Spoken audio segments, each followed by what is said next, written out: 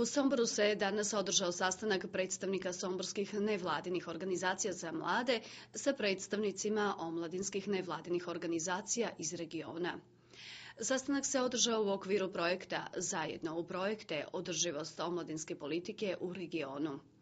Gostuju predstavnici organizacije Beščesko udruženje mladih, Centar za omladinsku inicijativu iz Odžaka, potom organizacija OKO iz Gulske opštine i Kancelarija za mlade opštine Apatin. Sastanak je drugi po redu od ukupno planiranih četiri sastanka. Organizator sastanka kojim se održao u prostorijama studentskog doma dr. Zoran Đinčić je Somborski edukativni centar.